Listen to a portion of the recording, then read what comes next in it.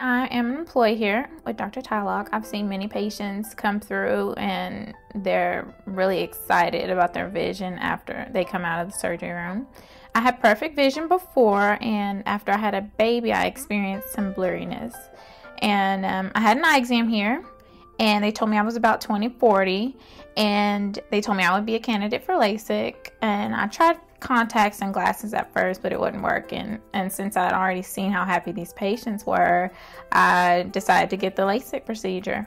I was confident in Dr. Tylock's work, so when I went back there for surgery, I wasn't scared at all. And they talked me through everything, and it was so easy. And once you come out, I open my eyes and everything's clear. It was perfect. Uh, I I couldn't believe it actually, and I loved it.